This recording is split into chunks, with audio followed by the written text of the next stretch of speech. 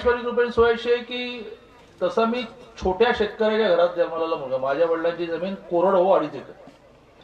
वयाच्या दहाव्या वर्षी त्यांना कळलं की आपल्याला ह्या कोरडवाहू जमिनीत अडीच एकरामध्ये काही लग्नानंतरचा संसार करता येणार नाही. दहाव्या वर्षी ते पळून मुंबईला गेले. आणि मिलमध्ये कामगार म्हणून लागले. दहा रुपये पगार.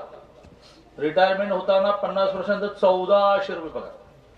तर अशा एका बाजूने अडीच एकर जमिनीच्या शेतकऱ्याचा मुलगा आणि एका बाजूने मिलमध्ये काम करणाऱ्या कामगाराचा मुलगा. परंतु आमची कोल्हापूरची अंबाबाई आम्हाला खूप प्रसन्न. आणि त्यामुळे इथपर्यंत आलो.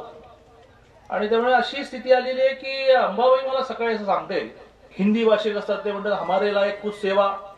तो हा तुम्हाला लायक सेवा बताऊंगा. तर मला व्यक्तिगत जीवनात काहीच लागत नाही. तुम्ही टीव्हीवर वगैरे बघत असाल ब्लॅक पॅन्ट आणि व्हाईट शर्ट काळी पॅन्ट पांढरा शर्ट रंग पण बदलत नाही. तर मी म्हटलं मग हमको कुछ लगता नाही लेकिन बताऊंगा आणि मग अशा अनेक कामं ज्यांची आपण करतो त्यांना मी सांगतो की हा आपने कहा था ना की हमारे लायक कुछ सेवा. तो हमारे राईबाई का घर बनाव अशा आम्ही सचिन पटवर्धन नावाचे राहतात खूप लिडिंग वकील आहेत राज्याचा राज्यमंत्री दर्जा आहे त्याला. त्याला म्हटलं हो सचिनजी खूप वेळा म्हणता की तुम्ही आम्हाला राज्यमंत्री केला तुम्ही आमची एवढी कामं करता काहीतरी आम्हाला सेवा करायची संधी द्या तर मोठी संधी तुम्हाला देतो. आणि त्या सचिन पडोदांनी दोन महिन्यामध्ये एकही पैसा कमी पडून नये हे बांधलं म्हणून मी आल्या क्षणापासून घाई करतोय त्याबद्दल मला क्षमा करा. पण आज माझ्या बायकोची येण्याची इच्छा होती हेलिकॉप्टरमध्ये जागा नव्हती म्हणून मी तिला म्हटलंय आणि बायकोनं दिलेला शब्द पाळावा लागतो. तिला मी म्हटलंय की आपण वेगळं जाऊ.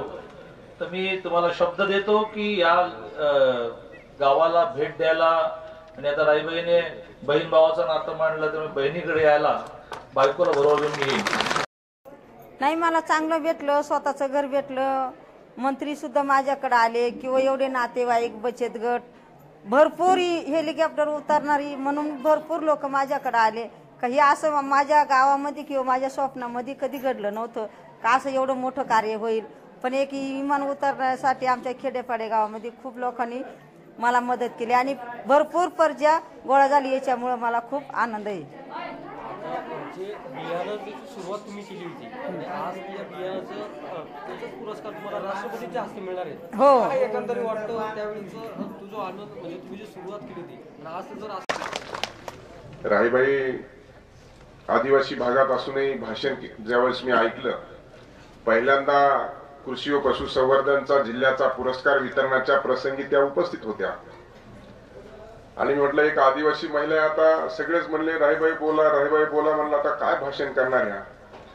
पण जेव्हा राहीबाईंनी भाषण करायला माईक हातात घेतला आणि राहीबाईंनी भाषण सुरू केलं वास्तविक पाहता जिल्ह्याचा प्लॅटफॉर्म होता आणि अनेक जण त्या व्यासपीठावर उपस्थित होते. त्यामुळं राहीबाई म्हणल्या की आता घोषणा तर केली पण काय माहीत नाही घर होतं का नाही. पण मग मी त्याच्यानंतर भाषण केलं आणि मलाही काही लोकांनी विचारलं आणि मिलिंदजीच्या भाषणामध्ये त्या अनेक लोक बोलतात. पण त्या घोषणाच राहतात त्याची प्रतिपूर्ती होत नाही. मलाही वाटलं की काहीसा अनुभव तसाच येईल का काय? पण मी दादांच्या वतीनं त्याच व्यासपीठावरून मंचावरून खात्री दिली. की या जिल्ह्याचा पालकमंत्री म्हणून दादांनी केलेल्या घोषणाची अंमलबजावणी नक्की होईल. आणि तो दिवस केवळ आणि केवळ छत्तीस दिवस ना? छत्तीस दिवसामध्ये आपल्याला सगळ्यांना बघायला मिळाला. शेततळ असेल रस्ता असेल या बीज बँकेचं उद्घाटन असेल आणि या गावाला जोडणारे सगळे रस्ते कारण दादा सार्वजनिक बांधकाम मंत्री पण आहेत दादा महसूल मंत्री पण आहेत दादा कृषी मंत्री पण आहेत आणि सगळ्यात महत्वाचं म्हणजे दादाकडे मदत व पुनर्वसन खाते. त्यामुळे सगळ्या गोष्टी पूर्ण करण्याच्या दृष्टिकोनातून दादा इथे येत असतानाच निर्णय करून आलेले आहेत.